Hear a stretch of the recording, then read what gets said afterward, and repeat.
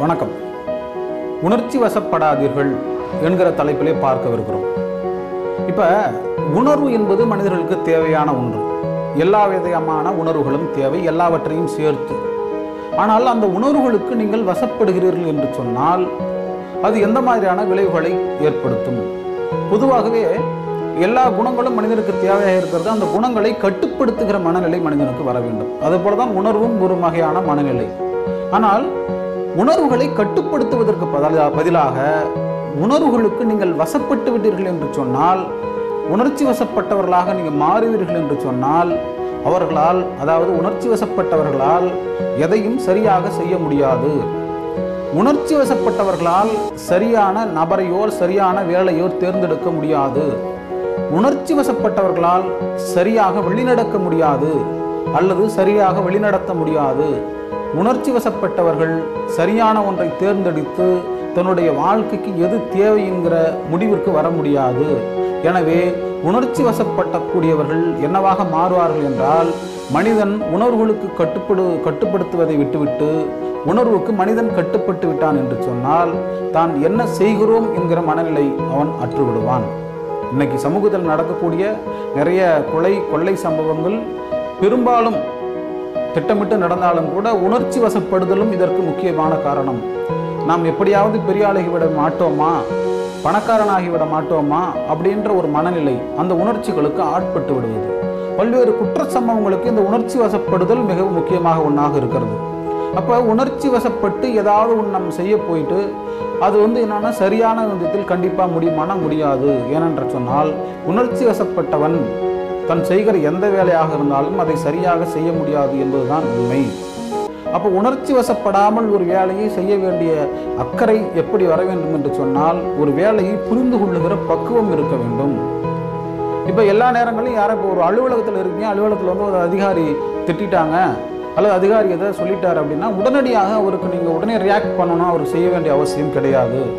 அந்த இடத்தில் அது சரியாக நீங்கள் அதை அவர் என்ன வேணாலும் சொல்லட்டும் அதை வந்து நீங்கள் காதில் வாங்கிக்கிட்டு அதை நீங்கள் உட்காந்து அலசி ஆராய்ஞ்சு ஏன் இந்த மாதிரி சொன்னாங்க? எதுக்காக இப்படி நடந்துச்சு? இதில் நம்ம தவறு ஏதாவது இருக்கா? அல்லது நம்ம மேலே தவறு இல்லாமல் வேண்டுமென்றே செய்தாரா என்பதையெல்லாம் சிந்தித்து அதன் பிறகு உணர்ச்சி வசப்படாமல் அந்த செயல்பாட்டை பற்றி நீங்கள் ஆராய்ச்சி செஞ்சீங்கன்னா இதை எப்படி உங்களால் வந்து ஹேண்டில் பண்ணி அடுத்த நிலைக்கு கொண்டுட்டு போகலாம் அப்படிங்கிறது உங்களால் பார்க்க முடியும். ஆனால் உடனடியாக அவங்க எதை சொல்லிட்டாங்க அந்த உணர்வு வந்து மிகுதியால் நம்ம எதை பண்ணிடுறோம். ஏதாவது செஞ்சிடோம்னா அந்த இடத்துல வந்து தவறுகள் அதிகமாக நடப்ப நடப்பதற்கான வாய்ப்புகள் இருக்குது சில நேரங்களில் பலர் சொல்லுகிற வார்த்தை பலர் சொல்லுகிற அந்த வேலைப்பாடு இவையெல்லாம் நம்ம கேட்ட உடனே நமக்கு பயங்கரமாக கோபம் வந்துடும் தேவையில்லாமல் வந்து இதெல்லாம் நம்மகிட்ட சொல்லிட்டாங்க அப்படின்ட்டு. ஆனால் அது பிற்காலங்களில் அல்லது சிறிது காலம் கழித்து நீங்கள் உணர்ச்சி வசப்பட்டு ஏதாவது பண்ணிட்டு பிற்காலத்தில் வந்து அந்த வேலையை பற்றியோ அந்த சொல்லை பற்றியோ அந்த செயலை பற்றியோ நீங்கள் நினச்சி பார்க்குற பொழுது உங்களுக்கு ரொம்ப நகைச்சுவையாக இருக்கும். சே தேவையில்லாமல் அந்த வேலையை நம்ம பண்ணிட்டோமோ? அல்லது இவங்க இதுக்காக தான் சொன்னாங்களா? நம்ம கவனிக்காமல் விட்டோமோ? சே அவசரப்பட்டமோ அவசரப்பட்டோமோ? அப்படின்ட்டு.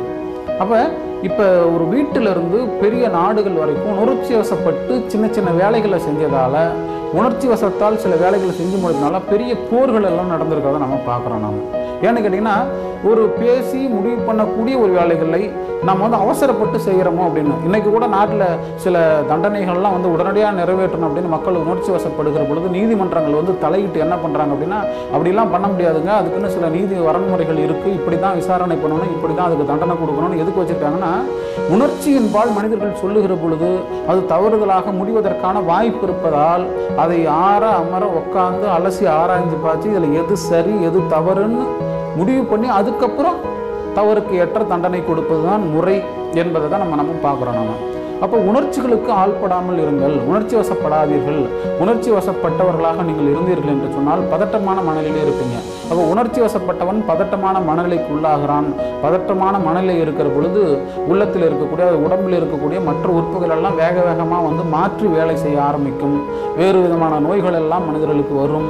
ஆகவே அவன் தன்னளவில் அழித்துக் கொள்வதற்கு உணர்ச்சி வசப்படுதல் தான் உதவுகிறது ஒழிய உணர்ச்சி வசப்படுவதனால் எந்த காரியமும் ஆகப் போவதில்லை. அப்போ உணர்ச்சி வசப்படாமல் ஒரு வேலையை செய்ய வேணும் கற்றுக்கணும் உணர்ச்சிக்கு நீங்கள் வசப்படாமல் இருங்கள். உணர்வுகள் உங்களுக்கு தேவையானது. எல்லா விதத்திலும் உணர்வுகள் இருந்தால்தான் உங்களால் சரியான மனிதராக இருக்க முடியும். ஆனால் அந்த உணர்ச்சிகளுக்கு நீங்கள் ஆட்பட்டு விட்டால் எந்த விதமான உணர்ச்சிகளாக இருந்தாலும் அதற்கு நீங்கள் ஆட்பட்டு விட்டால் உணர்ச்சி உங்களை இயக்குகிறது என்று சொன்னால் உங்களால் எந்த விதத்திலேயும் நிம்மதியாகவோ அல்லது நலமாகவோ வாழ்வதற்கு சாத்தியக்கூறுகளே இல்லை. எனவே உணர்ச்சி வசப்படாத மனிதர்களாக வாழுங்கள் வளமாக இருங்கள். இந்த வீடியோ பிடிச்சிருந்தா லைக் பண்ணுங்கள் ஷேர் பண்ணுங்கள் மறக்காமல் என்னோட சேனலை சப்ஸ்கிரைப் பண்ணுங்கள் நிறைய செய்திகளை நாம் பார்ப்போம். நன்றி வணக்கம்.